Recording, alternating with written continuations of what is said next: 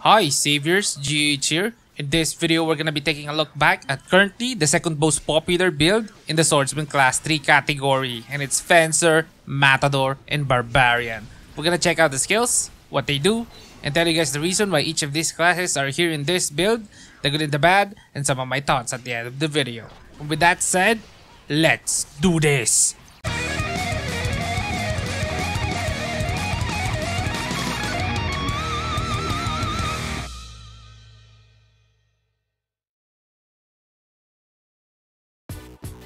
Okay guys, here's Fencer, Matador, and Barbarian. Let's start with Barbarian.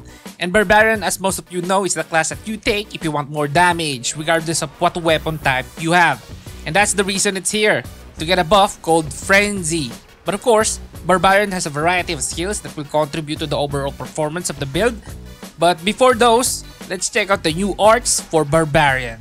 And first here is called Trance and it's for the skill Pouncing. And what it does is double the attack range of Pouncing and disables the ability to move while using Pouncing. It's a good trade-off because the attack range is significant and it works well in mobbing. There's another barbarian art here called Leather Mastery Animal Instinct. And obviously, if you're wearing a leather armor set, you get up to a maximum of 2500 attack depending on the transcendence of your weapon and arts level. Now, you're probably gonna ask, are you gonna wear leather plate, or cloth. For me, I always use leather as much as possible because damage is king in this game. And I always just leave it up to the shield to protect my character because even if I use plate, I will only be effective against physical damage. And there are bosses in this game that uses magic attacks. In the end, I still couldn't protect myself from everything. So, I might as well go full leather set and get a badass shield to go along with it. But if you're rich, Get every kind of armor because you will need everything. But if you're F2P, just go leather. The next skill is very vital and is the reason why we took Barbarian and the skill is called Frenzy. To keep it simple, after activating it, the more you hit, the more damage increase you get. If you stop hitting, the damage increase gets lowered as time passes. Next skill is War Cry. It's a buff and a debuff. It reduces enemy defense and the more enemies inflicted with Warcry, the more damage increase you get.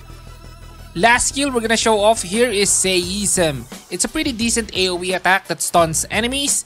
It has a fast cooldown of 15 seconds, so you're gonna be spamming this a lot. And that's Barbarian. Nothing much change, only new arts and reworked art. So yeah, Barbarian is still the damage boost and extra offensive abilities. Now let's head on to Matador. Now, Matador has undergone changes, and now its specific use is for boss fighting, because most of its abilities are much more effective when fighting boss type enemies, and also large type. Let's take a look at the skills and arts. Let's start with the skills with arts. First is Corrida Finale, the skill that summons a bull that pushes enemies and deals damage, and increase damage if the target is large or boss type. Now, the art is called Raging Bull and what it does is make the bull leaves flames on its track and that flame will deal damage. Next skill is Muleta. To put it simply, it's a counter-attack pose. When triggered, it will nullify the attack if it's physical melee damage and deals damage to the enemy and gives you increased damage to large and boss type monsters. And there's an art for Muleta called Faena. And what it does is activate the skill Faena when Muleta is triggered. Now, Faena is a skill that deals a decent amount of damage and it can be used 3 times and it's connected to Muleta when you have the arts for Muleta. Because as we've discussed, when you have the arts for Muleta and Muleta is triggered, the skill Faena will be used. Next skill is Ole. It's a buff that increases crit rate. When the enemy is a large or boss type, at max level, it increases minimum crit rate by 40%. This means when fighting bosses, you don't need the crit rate stat anymore. Because 40% minimum crit rate is enough already. Next skill here is Capote. It's a Matador taunt that also reduces enemy crit resist. Then final Matador skill is Backslide. Gives you immunity to damage when the skill is active and after that, it gives you a buff that reduces damage by 30% for 5 seconds. And that's Matador. IMC completely turned it into a boss fighting class, which is good in my opinion because the only time I see Matador is when we're fighting bosses. And now let's go on ahead to the last class, Fencer. Now, the Fencer class is a Pierce type attacker that specializes on rapiers, and the reason it's here is because it works well with Matador, because both of them enable the use of rapiers for their skills. Now, let's take a look at the Fencer skills, arts, and the new attributes. The new attribute is called Dagger, and what it does is converts 25% of your dagger's attack into physical attack. Now, this doesn't mean shield is dead because there will be bosses there that you just can't attack without a shield. But I can almost guarantee you that you will be wearing a dagger a lot. But for a safe measure, just carry a shield on your inventory. There's an art here called Parrying Dagger and what it does is activates block when dagger is equipped. And when a block is successful, it will increase your damage by 30% for 3 seconds. And there it goes. Now you can block with a dagger. Next here is a skill called Esquive Touche. toucher, yes sir, let's just call it Toucher. it's a skill that deals a pretty decent amount of damage and has a short cooldown of 10 seconds. Now, there's an art for this called Clean Dodge. And what it does, it evades all attack from the enemy when using Esquive Touche.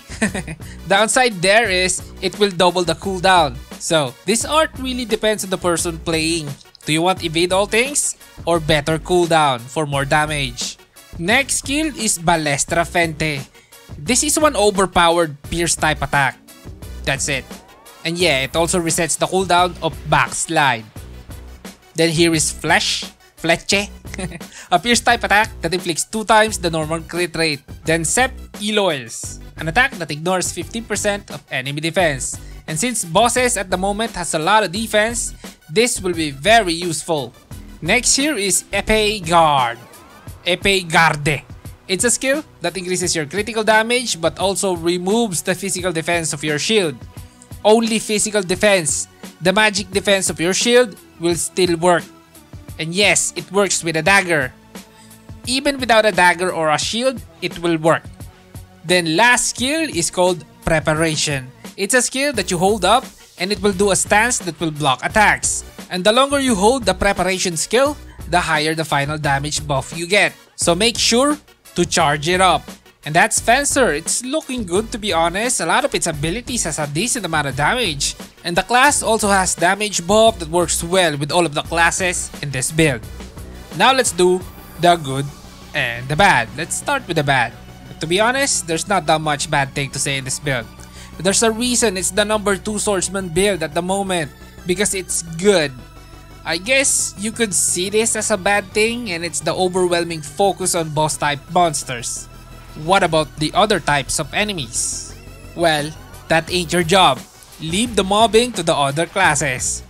That said, let's proceed with the good stuff.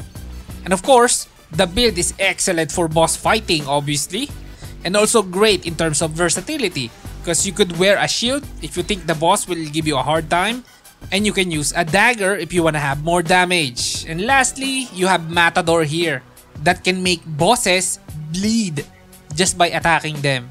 And that means you only need Prison Cutter card for your red cards. You don't even need Raja Pearl card anymore. And that, to me, is a very good thing because I always forget switching cards. All in all, I think IMC did a good job making an alternative build to the Blossom meta because Fencer, Matador, Barbarian is looking great at the moment. If I were to start out in the game as a swordsman, Fencer Matador Barbarian is a really great choice. And that's it saviors, it's time for me to play. but before that, let me ask you something, which is stronger? Blossom Barbarian Dop or Fencer Matador Barbarian? Share your thoughts in the comment section down below. And if you like the video, hit the thumbs up, share, and then subscribe to be part of the Gaming Hardcore family. And as always, this is Gaming Hardcore. See you in the next one.